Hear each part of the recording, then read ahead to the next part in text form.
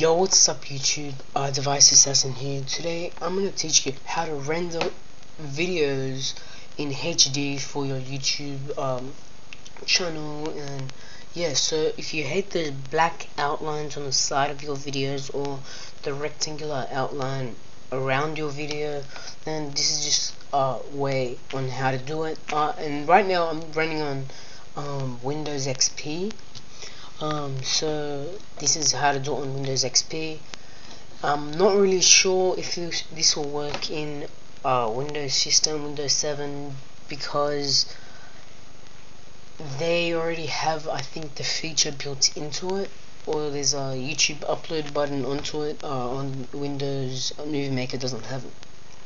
Anyway so first what you're going to want to do is go to the link in the description and download the Windows Movie Maker plugins. Now don't worry guys, this is only 6 kilobytes which is nothing and it will just take one second to download. Um, so after you finish downloading that, you're going to want to uh, extract the file. So here I have the file and I extracted it and it will look like this. You'll have these four files so where you're gonna want to put these files uh, go to my computer the C drive program files movie maker shared profiles and then you're gonna want to save it in there. So what you're gonna do is just copy this or cut it copy and paste and then you're gonna want to open uh, movie maker I'll just restart my movie maker?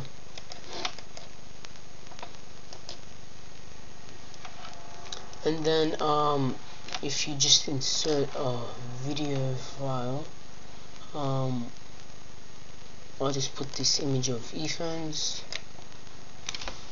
Just Photoshop it um, anyway.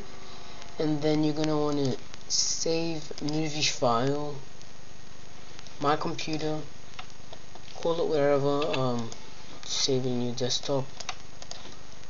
I'll just call it I don't know just type whatever click next and then uh, usually it'll say best quality for this. I'll just click other settings and you have these four new ones which is the files that you just put into um, in the profiles folder. Um, and you're gonna want to click uh, WMV-HD- 1 um 120 1280 uh, times 720 that's the one that I use and it makes this video HD on YouTube. And then you're just gonna click next wait for it to render and then when it's finished you can upload it straight to YouTube. Um, and yeah basically that's it guys.